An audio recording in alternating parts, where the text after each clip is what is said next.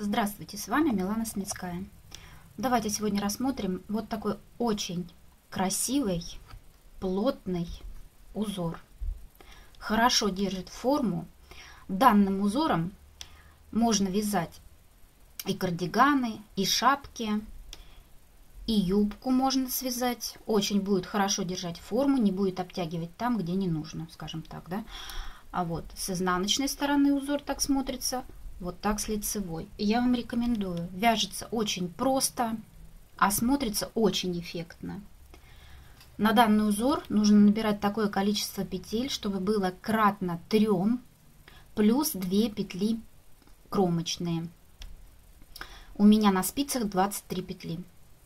Набрали 23 петли и самый первый нулевой ряд мы провяжем лицевыми петлями.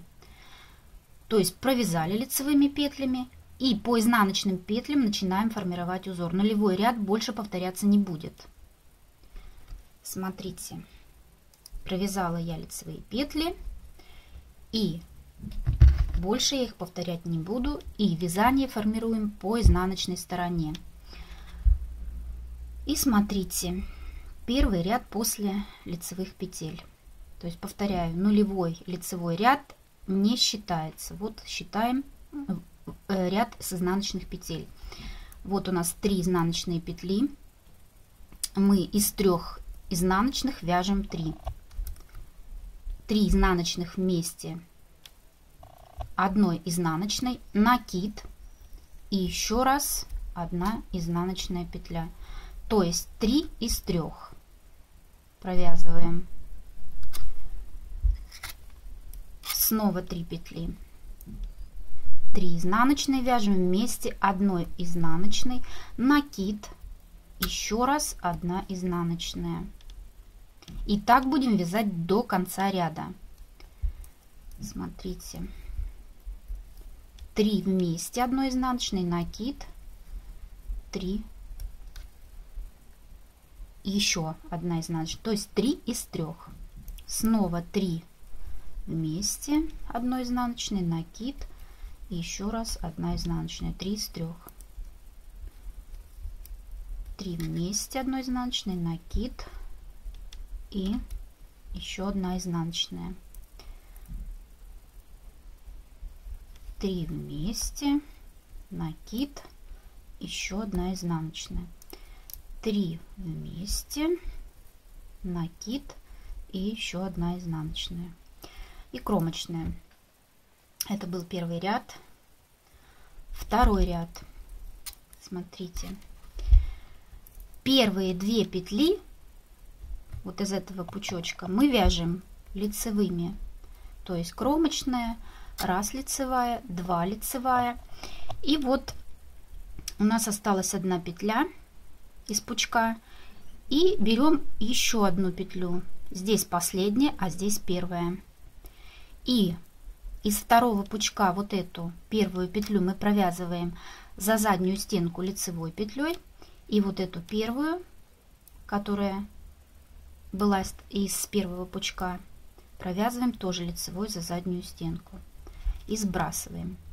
Далее одна лицевая. Снова у нас две петли друг от друга. Мы вяжем вторую лицевой за заднюю стенку, затем первую лицевой за заднюю стенку и сбрасываем петли. Одна лицевая. И далее смотрите снова у нас две петли друг от друга. Вяжем вторую лицевой за заднюю стенку затем первую лицевой за заднюю стенку и сбрасываем петли одна лицевая. И вот смотрите, вторую лицевой за заднюю стенку, первую лицевую за заднюю стенку сбросили, одна лицевая. И вот снова. Из второго пучка первую взяли, лицевой провязали, и из предыдущего пучка вот эту последнюю петлю тоже лицевой за заднюю стенку. И сбрасываем. Одна лицевая. И снова вторую лицевую за заднюю стенку, первую лицевую за заднюю стенку. И далее две последние петли. Мы вяжем просто 2 лицевые и кромочная. То есть в начале ряда 2 лицевые просто и в конце ряда перед кромочной 2 лицевые просто без узора. Все, узор состоит из двух рядов. Далее будете повторять все с, э, с первого по второй ряд. То есть кромочную снимаем 3 из 3, 3 из 3 и так далее. И потом вяжем второй ряд вот таким образом. То есть я вам рекомендую очень интересный узор. Смотрится эффектно. Надеюсь, это видео было понятным, полезным. Спасибо за внимание. До новых встреч. И нажимайте на красную кнопочку «Подписаться». Нажимайте на колокольчик и поставьте галочку «Сообщать мне обо всех новостях этого канала». Также смотрите мои другие видеоролики. Думаю, вы найдете для себя что-то интересное. До новых видео!